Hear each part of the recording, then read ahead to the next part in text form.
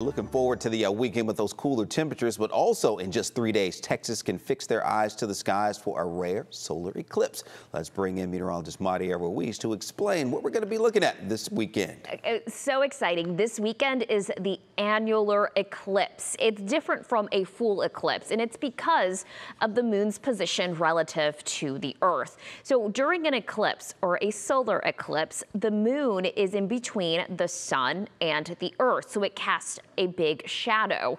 Uh, the moon actually this time around is going to be too far to fully cover the sun.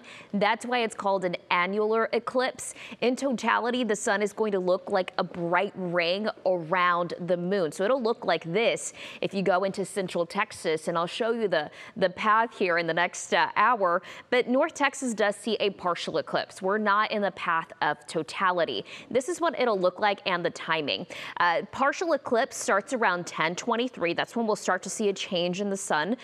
86% uh, totality for DFW specifically, and that happens at 11:52, so just before noon. Temperatures around this time are going to be in the 60s, and then it, it does end around 1:29. So it'll definitely look different. Shadows are going to look different for us as well. It's important to know that sunglasses will not work when you're looking at the sun. You have to wear solar glasses. I'll show you what that looks like in the next hour as well. Tashara.